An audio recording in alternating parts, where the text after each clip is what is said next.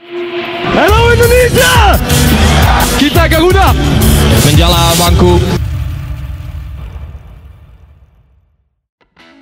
Pemain keturunan Indonesia Miss Hilgers kembali jadi sorotan. Pasalnya ada tulisan kita Garuda dalam unggahan teranyar Miss Hilgers di akun media sosial at Live After Football Official. Ya, akankah ini jadi pertanda Miss Hilgers akan segera perkuat timnas Indonesia? Dalam unggahan teranyarnya akun at Live After Football Official menampilkan sederet foto Miss Hilgers dengan pakaian bebasnya. Bergaya kasual hingga formal, Miss Hilgers tampil memukau. Tetapi fokus netizen tak hanya tertuju terhadap foto Miss Hilgers saja. Caption yang dituliskan oleh akun at Live After Football Official pun turut jadi sorotan. Pasalnya, terdapat hashtag kita Garuda dalam unggahan tersebut. Tentu saja tulisan ini lekat dengan Indonesia sehingga sejumlah pihak menduga ini jadi tanda Miss Hilgers bakal segera memperkuat timnas Indonesia. Salfok ada tagar kita Garuda, tulis salah satu netizen. Banyak yang kepancing, mantap, main strike, tulis akun netizen yang lain. Tagar kita Garuda kode, tulis netizen lainnya. Ya, sempat tak direstui oleh orang tua kini Kevin Dix dan juga Miss Hilgers apakah bakal perkuat timnas Indonesia? Ya, menarik untuk menantikan kejutan nasib dari Miss Hilgers. Akankah dia benar bakal segera memperkuat timnas Indonesia atau tidak? Timnas U23 Indonesia melakoni laga uji coba pertama melawan Arab Saudi Jumat 5 April 2024. Ini merupakan laga uji coba pertama Garuda Muda, di mana saat ini Scott Sinteyong juga mengalami keterbatasan. Hanya ada tiga bek tengah murni saat ini dalam 24 pemain yang sudah berada di Uni Emirat Arab. Mereka adalah Rizky Ridho, Komang Teguh, dan juga Muhammad Ferrari. Sementara tiga bek tengah lainnya yang dipanggil belum bisa dipastikan apakah bisa bergabung. Sementara itu Alfiandra Dewangga baru saja melakoni operasi di ketiak kirinya dan Nova Arianto sudah memastikan bek PSIS itu tidak bisa berangkat ke Uni Emirat Arab. Justin Habner dan juga Nathan Choeon belum bisa dipastikan apakah dilepas klubnya atau tidak. Timnas U23 Indonesia sudah sejak Rabu 3 April 2024 berlatih taktikal sehingga laga lawan Arab Saudi adalah kesempatan untuk menjajal plan-plan Sinteyong sebelum Piala Asia U23 2024. Sementara itu Arab Saudi juga telah melakukan persiapan terbaik untuk Piala Asia U23 2024. Uji coba lawan Indonesia dipakai oleh Arab Saudi untuk mengetahui gambaran kekuatan negara ASEAN lain di grup mereka yakni Thailand. Arab Saudi tergabung di grup C bersama Thailand, Irak dan juga Tajikistan. Ramadan Sananta terus mematangkan persiapan selama pemusatan latihan atau TC Timnas Indonesia U23 jelang Piala Asia U23 2024. Sananta ingin bekerja lebih keras guna membayar kepercayaan yang diberikan dari pelatih Sinteyong. Sananta sadar masih banyak kekurangan yang harus diperbaiki. Pemain Persis Solo itu ingin membuktikan bahwa dirinya layak menjadi andalan lini depan Timnas Indonesia U23. Tentu saja saya mungkin banyak kekurangan dan saya harus improve diri saya buat menjadi lebih baik ke depannya. Kata Ramadan Sananta, sumber situs resmi PSSI Kamis 4 April 2024. Mungkin saya harus bekerja keras karena apa yang Coach Shin mau dari saya dan pemain lain juga mungkin saya harus lebih memberikan yang terbaik pada pertandingan nanti. Terangnya. Timnas Malaysia U23 disinyalir lebih kuat ketimbang Timnas Qatar U23. Lalu apakah ini pertanda Timnas Indonesia U23 bakal menang atas Timnas Qatar U23 sekaligus meraih 3 poin di laga perdana grup A Piala Asia U23 2024 pada Senin 15 April 2024 pukul 22.30 waktu Indonesia Barat? Ya, di luar tuan rumah Timnas Malaysia U23 merupakan negara pertama yang tiba di Qatar jelang mengarungi Piala Asia U23 2024. Setelah sekira satu minggu berada di Qatar, skuad Harimau Muda atau julukan Timnas Malaysia U23 akhirnya melakoni laga uji coba semalam. Bersua Timnas China U23, Timnas Malaysia U23 tumbang 1-2 dari sang lawan. Jika Timnas China U23 tidak mendapatkan penalti di menit 85, skor akhir adalah 1-1. Apa yang dicapai Timnas Malaysia U23 jauh lebih baik ketimbang tuan rumah Piala Asia U23 2024 Timnas Qatar U23. Sekedar diketahui pada Rabu 3 April 2024 malam waktu Indonesia Barat, Qatar U23 juga bertemu China U23. Setelah melalui 90 menit pertandingan, Qatar U23 tumbang 0-2 dari China U23. Hasil ini sekaligus memperpanjang hasil buruk Qatar U23, yakni menjelang Piala Asia U23 2024. Limbungnya skuad Qatar U23 seharusnya dapat dimanfaatkan timnas Indonesia U23. Meski telah lama tidak menggelar pertandingan, mayoritas pemain timnas Indonesia U23 sering bermain bersama.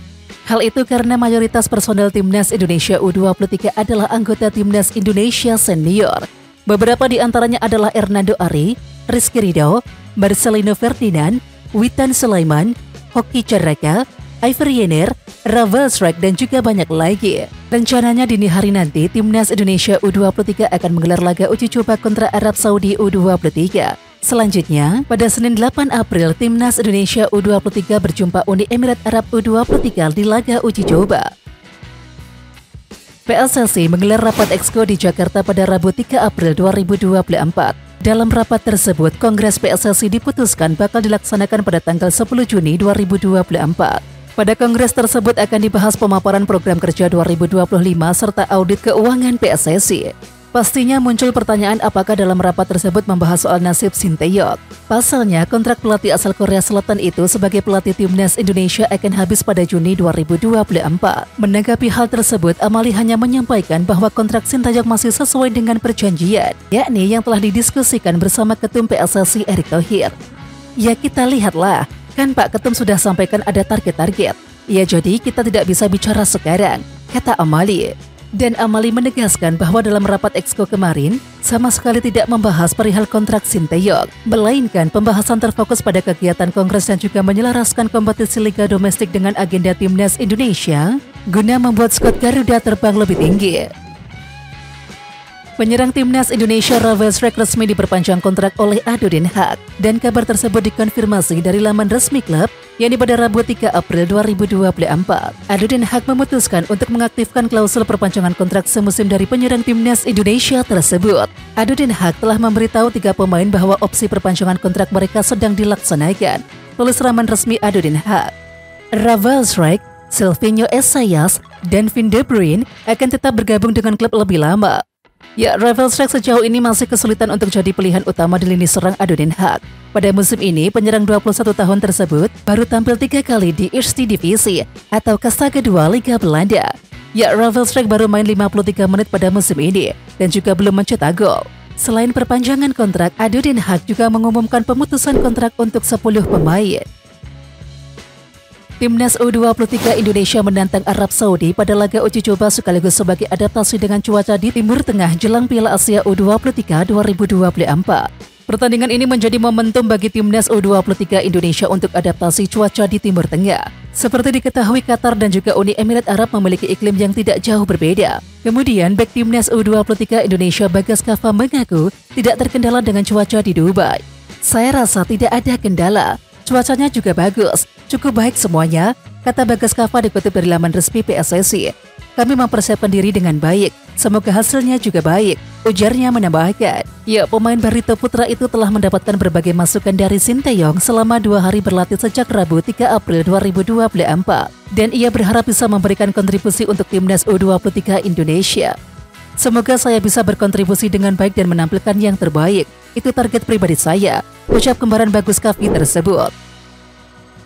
Kabar baik untuk timnas Indonesia dari kondisi gelandang mediator Mark Locke yang berangsur pulih dari cedera usai menjalani perawatan di Singapura. Seperti diketahui Mark Locke merupakan pemain yang memiliki peran penting di dalam dan juga luar lapangan bagi timnas Indonesia. Ia merupakan gelandang yang menjadi mediator bagi pemain lokal dan juga keturunan di timnas Indonesia. Mark Locke menguasai tiga bahasa sekaligus, yakni Inggris, Indonesia, dan juga Belanda.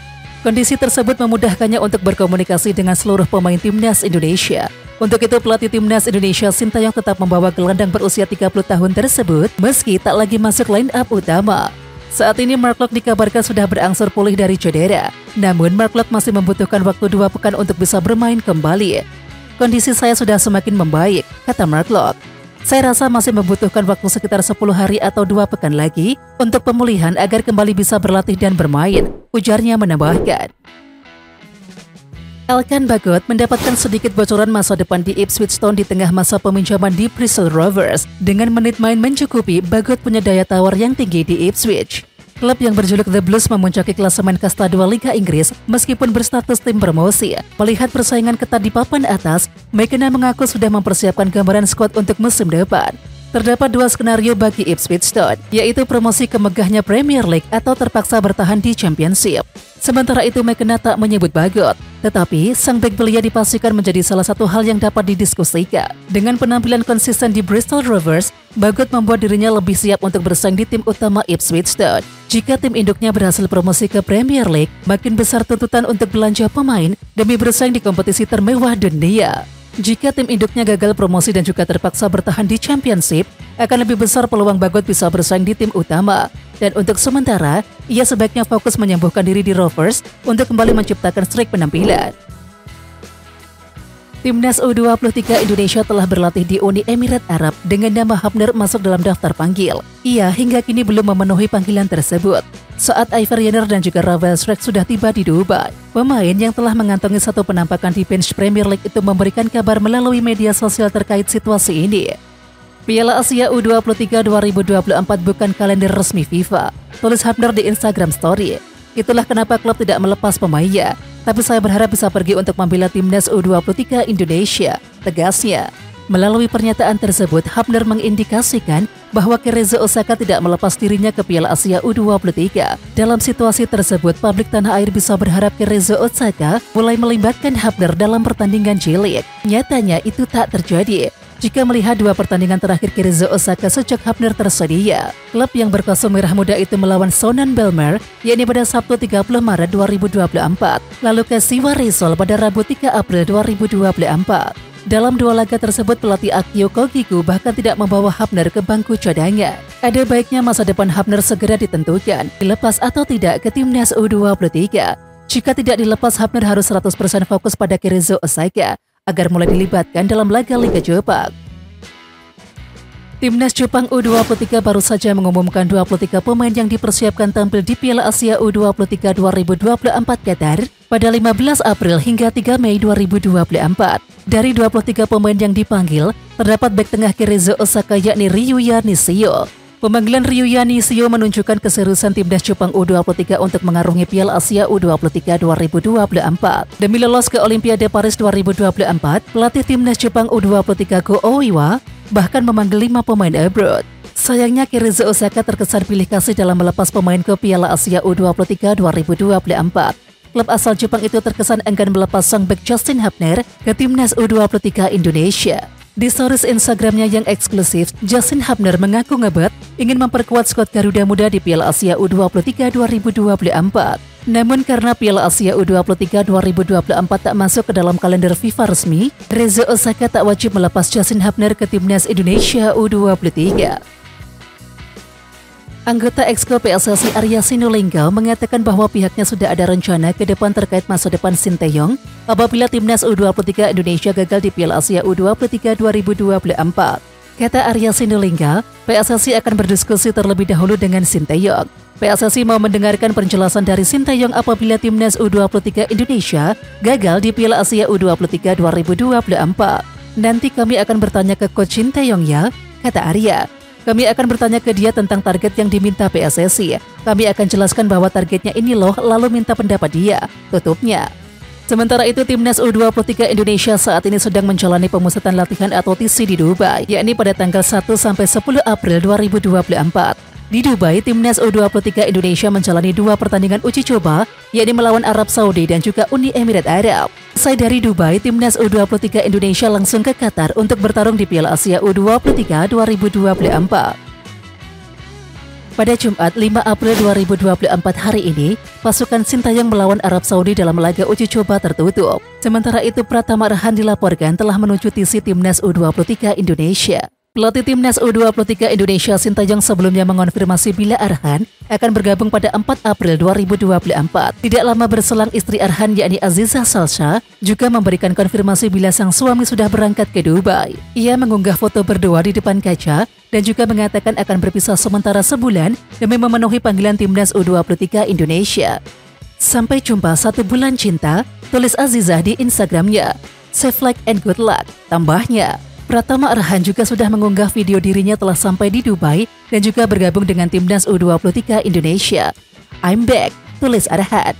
Ya, Sintayong dipusingkan dengan stok back ngah yang menipis karena saat ini hanya ada tiga nama yang berada di Dubai, yakni Rizky Rido, Komang Teguh, dan juga Muhammad Ferrari. Alfiandra Dewangga mengalami cedera dan juga harus operasi di bagian ketiak kiri. Sementara Justin Hubner dan juga Nathan Chueon juga belum jelas kapan atau bahkan tidak dilepas oleh klubnya. Timnas Indonesia selangkah lagi lolos ke babak ketiga kualifikasi Piala Dunia 2026 zona Asia setelah dua kali menang beruntun atas timnas Vietnam. Di babak ketiga kualifikasi Piala Dunia 2026 zona Asia, timnas Indonesia akan bersaing dengan 17 negara lain, yakni untuk memperebutkan 6 slot lolos ke Piala Dunia 2026. Nantinya 18 negara itu akan dibagi ke dalam tiga grup, yang mana masing-masing grupnya berisikan 6 negara. Demi memperebutkan tiket dengan negara-negara teras Asia macam Jepang, Irak, Korea Selatan, Australia, Arab Saudi hingga Qatar, timnas Indonesia membutuhkan tenaga tambahan Ya, tenaga tambahan yang dimaksud di sini adalah hadirnya pemain-pemain keturunan grade A. Setidaknya ada enam pemain keturunan grade A yang bisa diproses naturalisasi oleh PSSI untuk memperkuat timnas Indonesia. Sebanyak enam pemain yang dimaksud adalah Martin Paes, Miss Hulgers, Kevin Dix, Jairo Ridewald, Calvin Verdung, dan juga oleh Romedi. Sementara itu proses naturalisasi Martin P sedang dibahas di Pengadilan Arbitrase Olahraga atau CAS. Sedangkan Calvin Verdung mengaku bersedia memperkuat timnas Indonesia. Lalu bagaimana dengan Miss Hilgers dan juga Kevin Dix, Jairo Ridewog, serta oleh Romeni? Ya harapannya PSSI bisa melobi nama-nama ini dan juga merampungkan proses naturalisasi mereka. Sebelum babak ketiga kualifikasi Piala Dunia 2026 zona Asia dimulai pada September 2024. Jika nama-nama tersebut benar bergabung, Sintayong semakin leluasa mengandalkan formasi andalannya yakni 3-4-3. Dalam pola ini, posisi penjaga gawang dipercayakan kepada Martin Pes. Lanjut ke posisi tiga back sejajar ada C. Itzis, Miss Hilgers, dan juga Justin Hubner. Kevin Dix akan dioperasikan sebagai wingback kanan dan Calvin Verdung di sisi sebelahnya. Lalu bagaimana untuk trio di depan? Oleh Romani bertugas sebagai winger kanan, Ragnar Oratmangun winger kiri, dan Ravel Shrek penyerang tengah. Ketua Umum PSSI Erick Thohir merespon pencapaian timnas Indonesia usai naik 8 strip di ranking FIFA.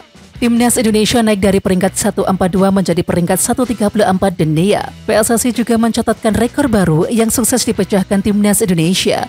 Ini menjadi peringkat terbaik timnas Indonesia dalam 13 tahun terakhir. Momen terakhir timnas Indonesia naik peringkat 130 dunia terjadi pada tahun 2011. Erick Thohir selaku Ketua Umum PSSI bersyukur dengan pencapaian Timnas Indonesia bulan ini. Pihaknya berharap Timnas Indonesia lebih baik ke depannya. Hasil ini patut kita syukuri, ujar Erick Thohir. Alhamdulillah atas pencapaian ini. Terima kasih kepada semua pihak yang sudah mendukung sehingga Timnas Indonesia bisa seperti sekarang. Semoga ke depannya akan terus lebih baik, ujar Erick Thohir. Erick Thohir juga memberikan apresiasi dan juga meminta timnas bekerja lebih keras, apresiasi tim yang terlibat, dan juga untuk bekerja lebih keras supaya bisa terus naik peringkatnya. Tutupnya. Salah satu rival timnas U23 Indonesia di fase grup Piala Asia U23 2024 Australia juga kesulitan untuk memanggil para pemain abroad. Pernyataan tersebut disampaikan oleh pelatih timnas U23 Australia Tony Fitmer. Fitmer mengaku bahwa Australia ingin memanggil sejumlah nama pemain yang berkarir di luar negeri. Namun, banyak dari mereka yang tak dilepas oleh klubnya saat ini. Karena Piala Asia U23 2024 tidak digelar di agenda FIFA. Saya sudah terbuka dan jujur mengenai kekecewaan saya karena Piala Asia tidak masuk dalam kalender FIFA. Namun kami tahu akses terhadap pemain akan menjadi sebuah tantangan dan itu adalah sesuatu yang telah kami rencanakan dalam beberapa bulan terakhir.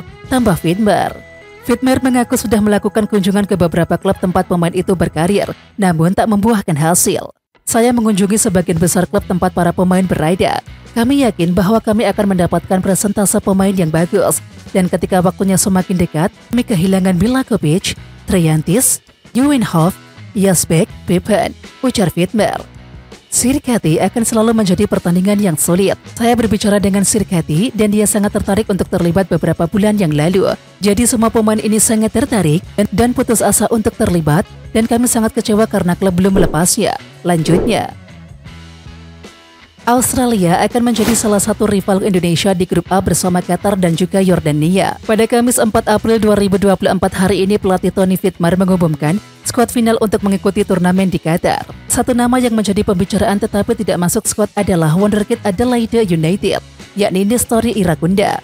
Irakunda merupakan pemain lahiran 9 Februari 2006 yang sedang menjadi komoditi terpanas sepak bola Australia. Dalam usia 18 tahun, ia telah mengoleksi 14 gol dalam 55 penampilan bersama Adelaide United di A-League.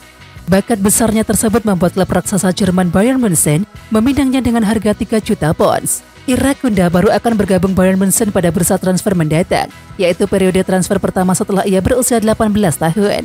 Melihat capaiannya di Australia dan juga keberhasilannya menebus sepak bola Eropa, bisa dikatakan Irakunda adalah ekuivalen Marcelino Ferdinand di Australia. Pelatih Indra Safri akan memanggil sejumlah pemain diaspora ke skuad timnas U20 Indonesia yang akan kembali menggelar pemusatan latihan atau TC pada tanggal 17 April mendatang. Indra Safri mengisyaratkan mengincar pemain diaspora di semua sektor guna dicocol kemampuannya. Sebelumnya Indra Safri telah memberikan kesempatan kepada sejumlah pemain diaspora di TC Timnas U20, yakni di periode Maret 2024. Mereka adalah Eros Dermawan dari UD Lagnores, Marcelinus Omaola dari UD Lagnores, Wilber Jardim dari Sao Paulo, Coyunda Manik Lausanne Sport, dan juga Dylan Yabran dari SV Burkids Gladbach 09. Di TC sekarang kami siap posisi ada tiga pemain, seperti 30 pemain ditambah 6 kiper, total 36. Ucap Indra Safri di lapangan Asenayan Jakarta Pusat Kamis 4 April 2024. Kami rencananya setiap posisi itu ada empat. Jadi posisi-posisi yang sisa itu, kami melirik beberapa pemain diaspora yang nanti akan dipanggil setelah lebaran.